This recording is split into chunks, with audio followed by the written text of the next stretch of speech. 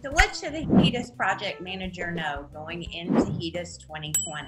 some of the most important things that a project manager should know is first, what's the volume of chases that you're dealing with in your project? What are the measures that your team will be responsible for abstracting? Are you responsible for the overall quality of the project or are you just managing the abstraction process? What software tool will your team and yourself be using? Will you be responsible for pulling data out of that software to compile reports on completion, productivity, and quality of the project. Most importantly, what training is your staff going to be required to take? If you are interested, we also at CareNational would partner with you for staffing and HEDIS training. So always HEDIS Certify is available. And you know, if the candidates have completed the HEDIS Certified training, they are very well versed on the measures and ready to jump right into the project.